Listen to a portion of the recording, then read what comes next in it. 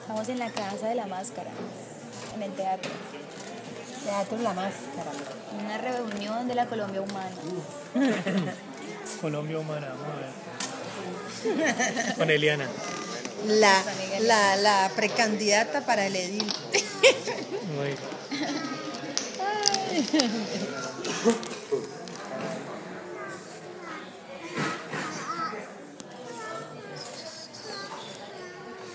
Pero la gente sí muy incómoda.